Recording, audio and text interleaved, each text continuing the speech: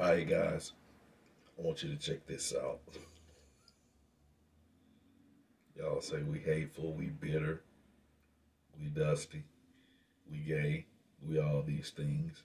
I, I want you to see this little short clip from X-Men, which I'm probably going to get a copyright claim for, but I'll eat that up.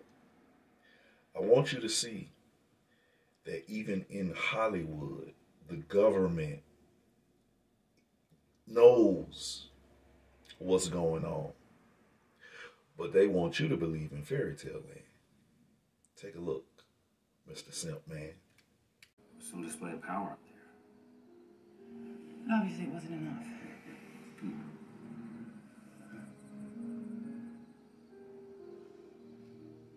I love him.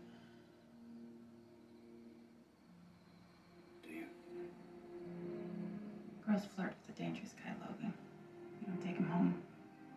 You married a good guy. I could be a good guy.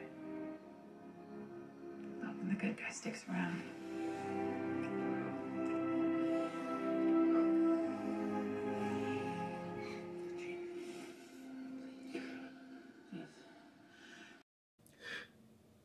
Alright, this is for my simp guys out there. Your woman gets wet. That pussy throbs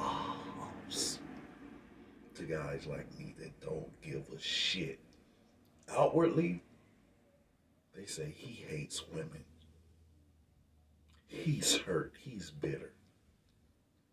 Guess what? That woman, Jean, who's what?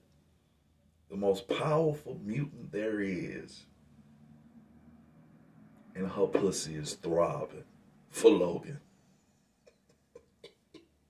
She's got the textbook best man there is in Scott, Mr. Cyclops. But she wants the bad guy. She admits it out of her own mouth that you fuck the bad guy. You marry the good guy. So all you guys out there that are married, thinking that you accomplished something. No. You're just Mr. Simpson. Mr. Simpson. Mr. Get her done. I know. I was that guy before. I remember my wife used to tell me that. we gotta do this. Okay. Get her done. And she made me hurry up and come. But see, I wasn't that guy before we married. I was Logan. I didn't give a shit. And she wanted to suck my dick and she wanted me to goddamn pound her to here. From here to Marthasville.